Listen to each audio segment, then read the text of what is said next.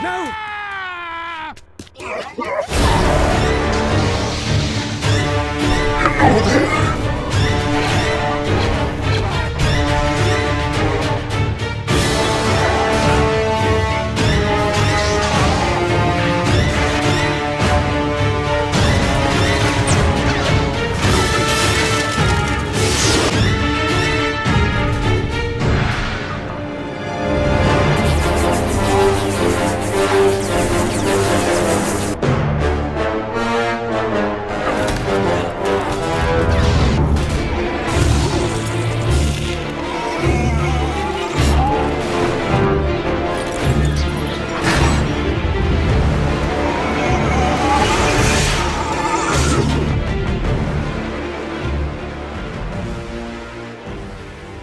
I am going to end this once and for all.